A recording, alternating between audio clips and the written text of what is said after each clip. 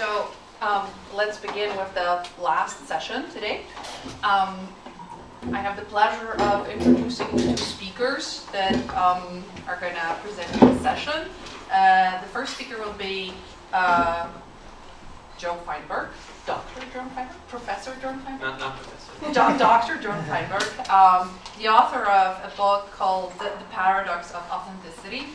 Uh, he's employed at the uh, Philosophical or Philosophy Institute here in the uh, Czech Academy of Sciences, and um, uh, he is uh, in, in, employed in the department of uh, Czech um Czech philosophy, the mm, department of the modern Czech philosophy.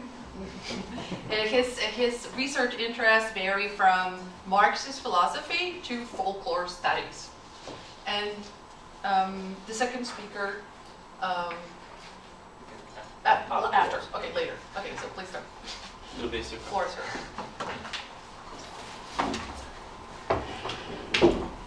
Right, thanks a lot for coming, and thanks again to Jana, who will eventually watch this video, who really did a, put a lot of work into making this happen. So, um, really, it's really too bad she couldn't be here today. Um, let me also start just with a little caveat. Um, I took rather seriously the idea that this is a workshop, so I'm going to present something that's really a, a work in progress. Um, and uh, I think to really get something more definitive on um, the topic I'm going to present on, it really will require more extensive study of uh, the writings of uh, Kierkegaard and Adorno, and in particular what Adorno wrote about Kierkegaard. Um, although, in some respects, what he wrote about Kierkegaard is not always what's most relevant to, work, to my comparison of the two. Um, but I'll be very interested in what uh, comments you might have uh, when we get to the discussion period. Uh, but uh, I think uh, first, just to start a, a few words on this relationship between Kierkegaard and Adorno. I would say it's, uh, it seems to be kind of an uneasy affair between the two. Adorno seems to have loved Kierkegaard a bit the way that Kierkegaard loved uh, his fiancée Regina Olsen, who uh, he convinced himself that he, he had to be rid of what he loved. He spent his career ruminating on this, this loss. Um, and and uh, when it wasn't uh, Kierkegaard himself that Adorno pursued in, in much of his later work, we see what you might consider something like do- doppelgangers of Kierkegaard.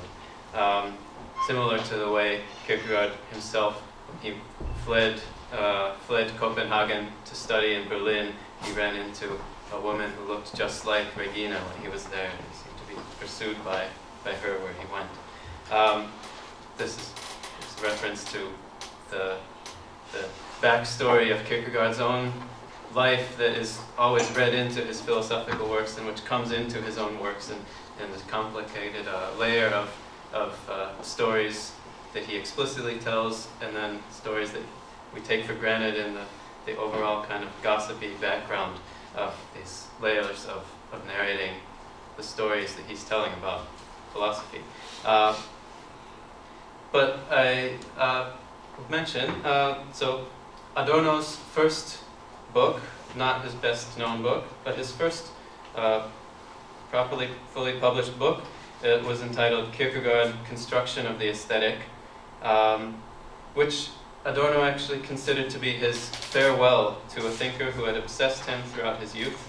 Uh, this was written in Adorno's late 20s and incidentally published the day that Hitler came to power in 1933.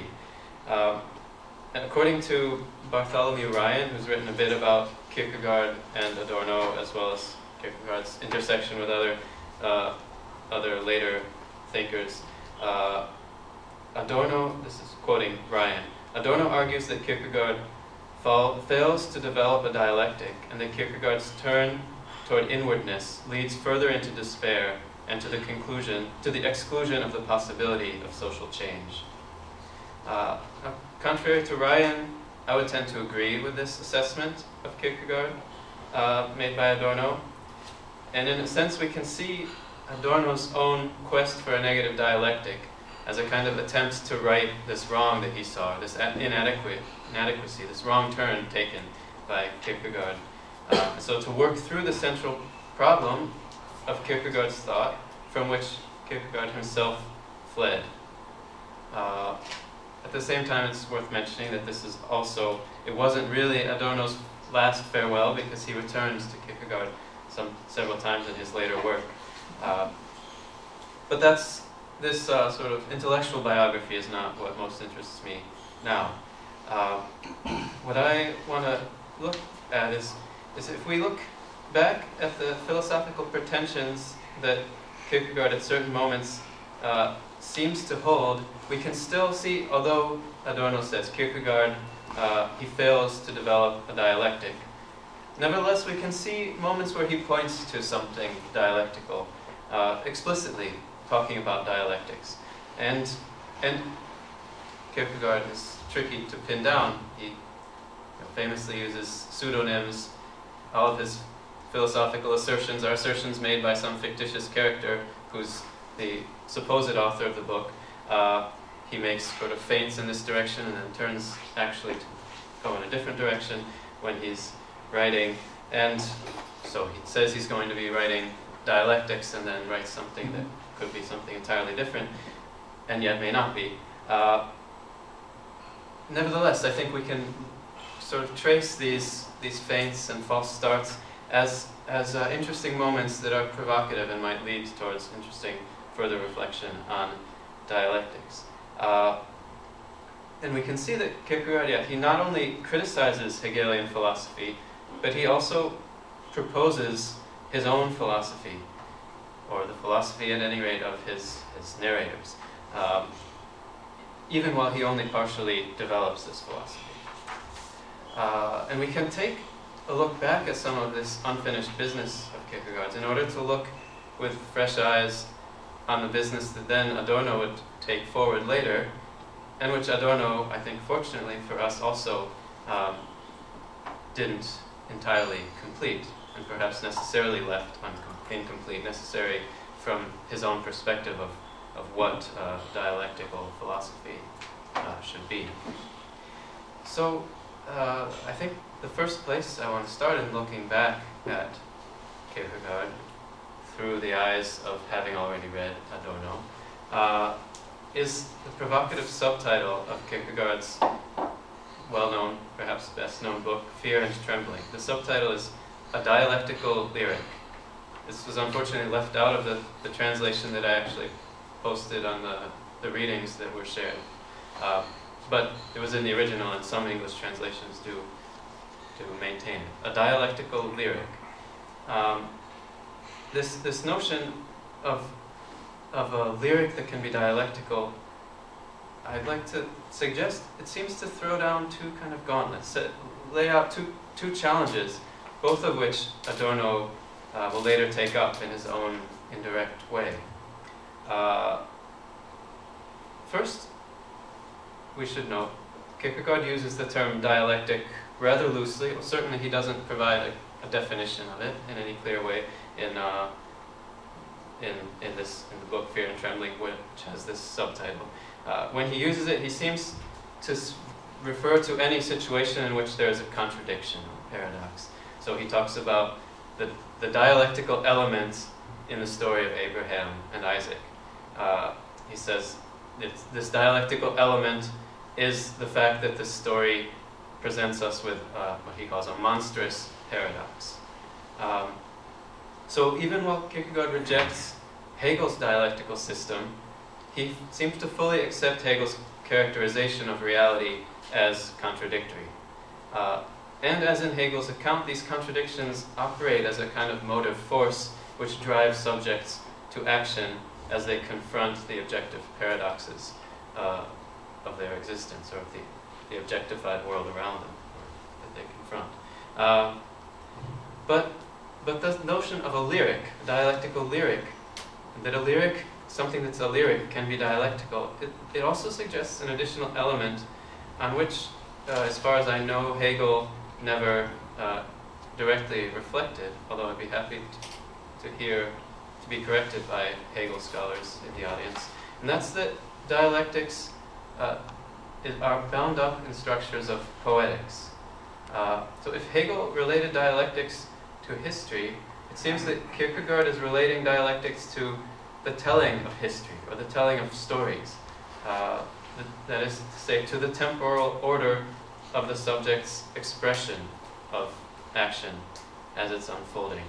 Um, now, just, just a brief aside, I wonder if we think about this suggestion, what does it mean if, if dialectics, if, if we think of dialectics as a kind of narration, uh, what might that mean for how we conceptualize dialectics? And also when we go back in, in the history of dialectical thought, this is just maybe, yeah, just a, a side thought, whether we might then look not at Plato or Heraclitus as the founding father of dialectics, but Aristotle's Poetics as a foundational work that shows us this structure of how uh, some kind of protagonist becomes entangled in tension and then pushes towards this disentanglement, denouement. Um, not to say that Heraclitus and Plato don't have their own important roles, um, as well as a long history after that. Uh, but now, to go back to what I consider the second implicit challenge that's posed by Kierkegaard's subtitle here. If Kierkegaard polemically posits a dialectical lyric against some other kind of dialectics, he seems to be suggesting that his, his uh, polemical other engages in dialectics of, of some different form.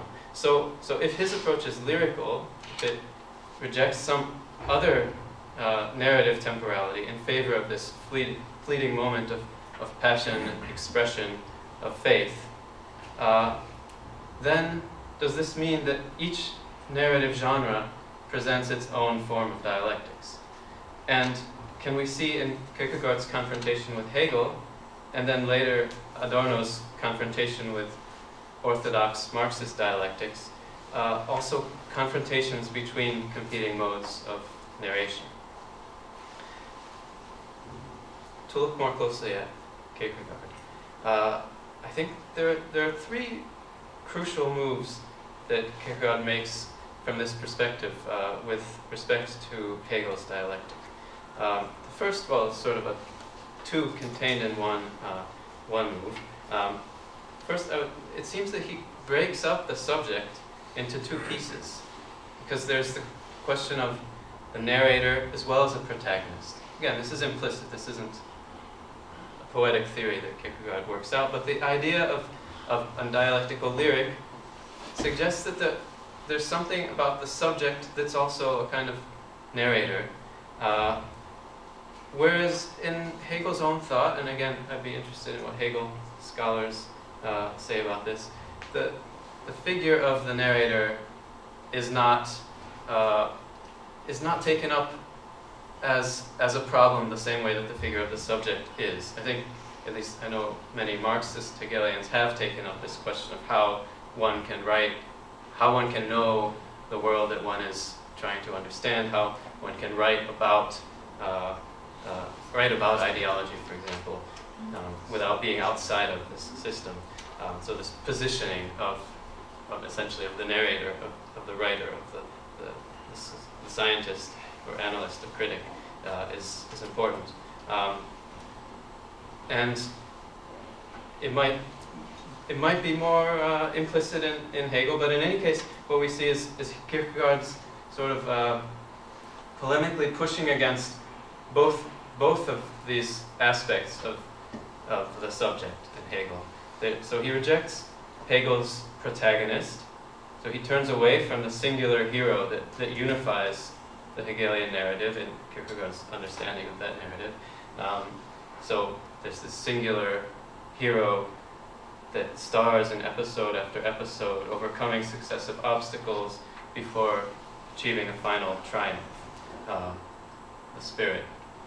And Kierkegaard's protagonist changes from story to story and each telling to telling. So each individual then faces his own paradoxes, even while the narrator might tell others' stories. The narrator becomes the protagonist of a story, uh, of, of his own story. Um, the story of Abraham is also the story of the, the alleged author, Johannes de Silentio.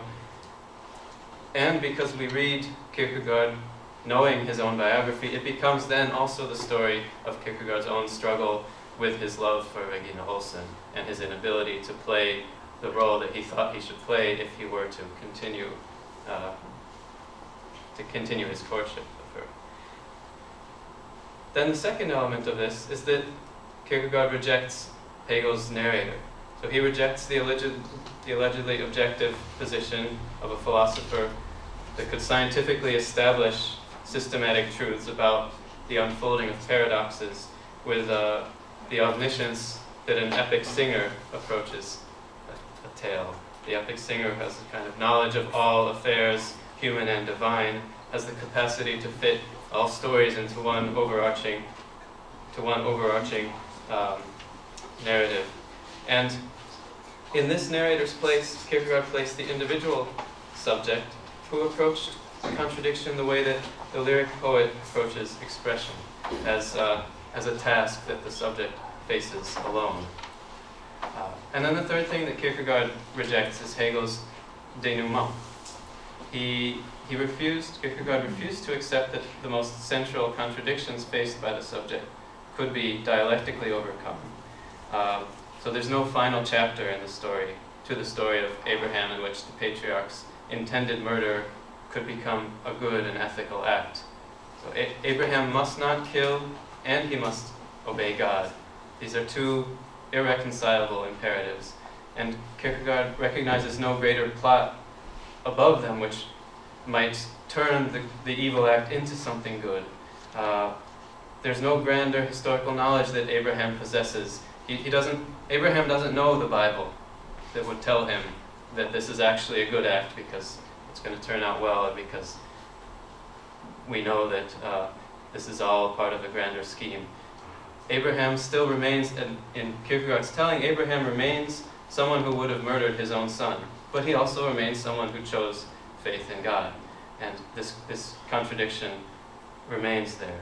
So the story ends with, with the tension uh, unresolved, but at the same time, the ironic remove that Kierkegaard produces by placing this fictitious narrator between himself and the text lends the story to possible retellings with alternative endings. It, it almost invites the reader to say, no, uh, that's not the decision that I would make, um, as later readers have actually done, um, to retell the story in a, in a different way.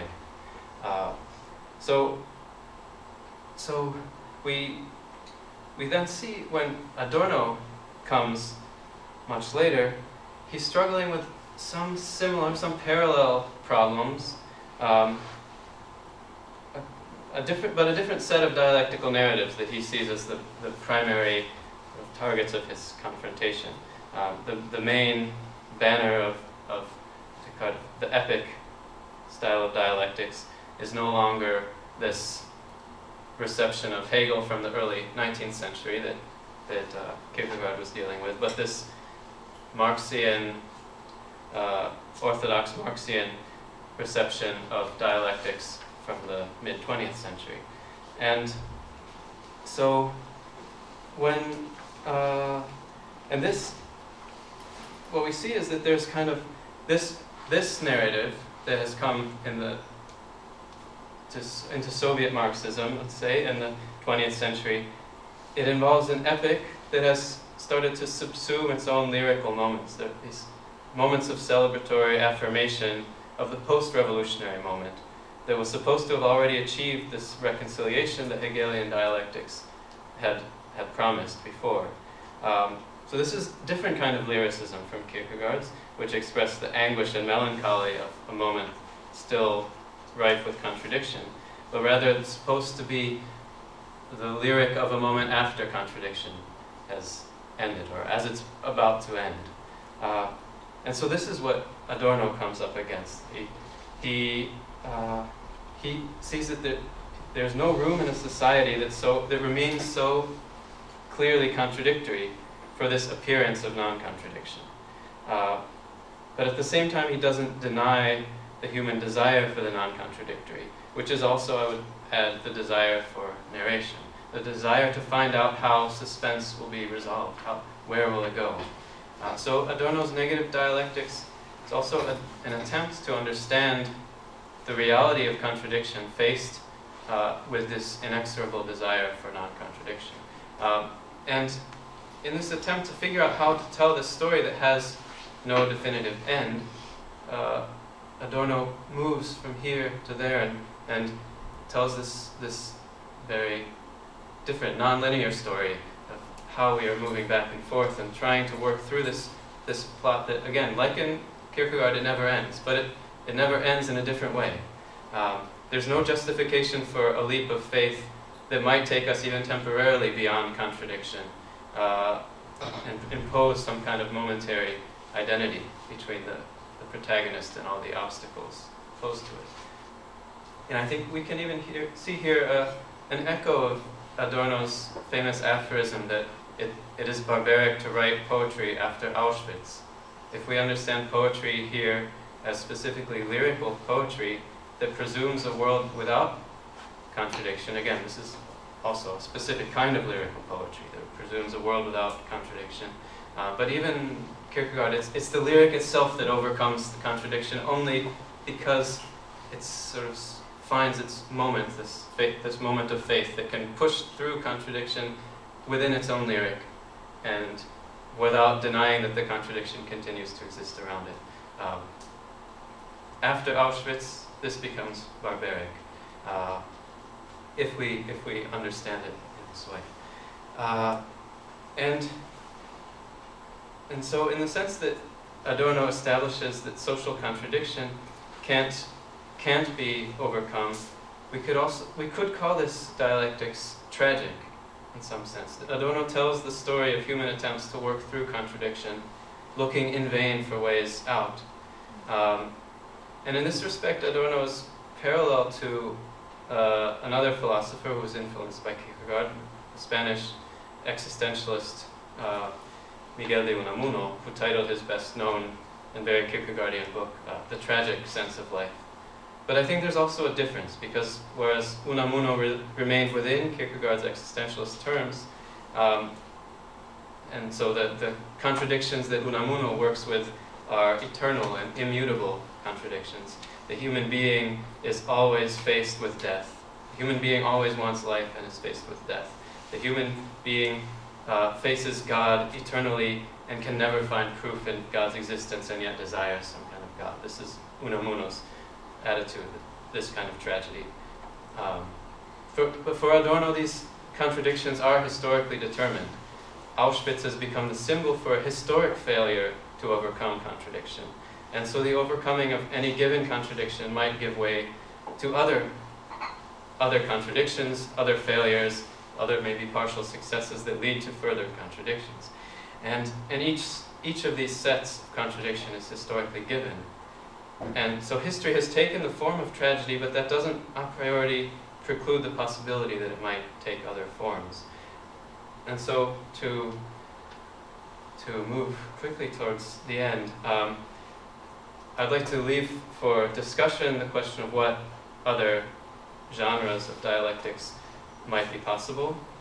Um, and just a brief conclusion on what this may mean about what dialectics are and can be. Uh, so to, to return to this idea of dialectics returning, can there be dialectics after all? Uh, can, can there be dialectics after Althusser, you could say, in some sense? Um, after the so-called death of the narrator or, or subject or author, um, attributing a lot of people to Althusser, um, but he was an influential figure uh, whose name has a nice beginning letter. Um, so can there be dialectics without a spirit that tells and stars in the story? So what I'm trying to lay out is this, this possibility that, uh, that I think this engagement between Adorno and Kierkegaard might open up, that dialectics can be a mode that shifts as narration and subjectivity shift. And that it might be possible that at one moment capitalism turns world history into a single overarching dialectic, or at least an experience of such a single overarching dialectic, but it's an experience rooted in this totality and totalizing structure of capitalism. And at another moment, this might be fragmented as a historically specific form. Uh, and at another moment, it might be moving towards something new. Uh, and yet, the, the world might still work dialectically because humans are condemned to perceive the world dialectically.